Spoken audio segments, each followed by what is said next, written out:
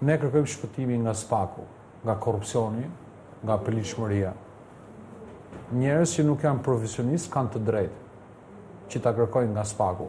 Po. Se në fund fundit argumentojnë dhe thonë u desh një strukturë, e ndërtuam, e mbështetëm, e bëmë. Por nuk është kështu. Unë jam profesionist.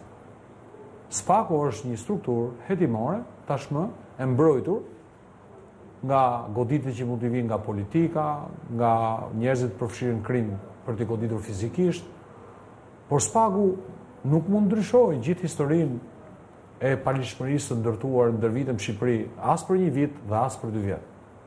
Ato çështje nuk janë si puna e furrave të bukës, që fut bukët tani dhe piqen, i nxjerr mas dy orësh.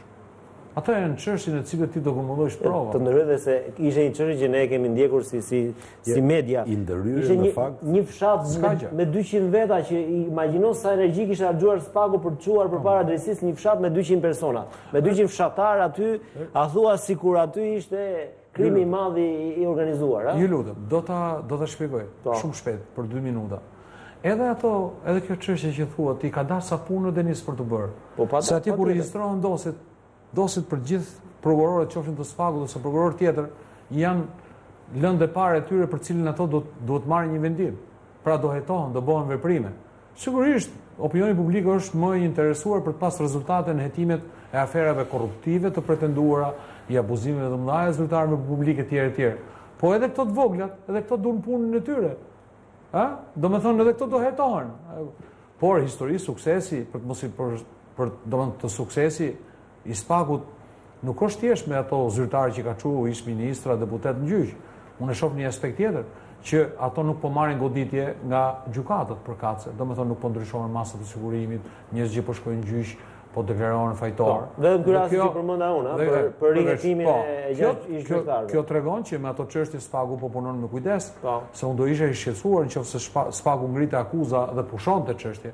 ose ngrinte akuza e i rrëzoheshin akuzat në gjykatë. Jo se s'do kemi rrëzime akuzash në gjykatë. Po përgjithësisht, për mendimin tim, puga, puna e spakut është profesionale, por në kuptimin e vëllimit të goditjes, sigurisht publiku pret më shumë, edhe unë pres më shumë nga spaku, por nuk mund të bëj rolin e kritikut, a e di pse nuk e bëj. sepse kemi krijuar një strukturë të ngjashme me strukturat analoge që hetojnë në Itali, në Gjermani, në Amerikë, e cila ka paga të mira, ka prokurorë që kanë kaluar kushtet e tyre profesionale, financiare, kanë roje, kanë bashkëpunim ndërkombëtar të sigurt dhe kanë dhënë prova që i po i, po i bindin agjencitë e tyre partnere, qofshin në Shtetet e Bashkuara të Amerikës, qofshin në Evropë, në disa operacione kanë besuar për të deleguar, për të për të transferuar dhënat që kanë ato dhe për të bërë dhe operacione të përbashkëta. Okay. do kemi goditje të peshqve të mëdhenj varet se kë quan ju, se unë një zyrtar në nivel ministri, deputeti, unë e quaj zyrtar të madh, do kemi goditje, absolutisht, sepse ato çështje që janë, Që publiku thotë, qa është të bo më SPAK-u, ja ku i ka çështjet, ja ku janë provat, pa i përmend. E kupton. Po ato do kthehen prova, ato nuk mbyllen pa një vendim.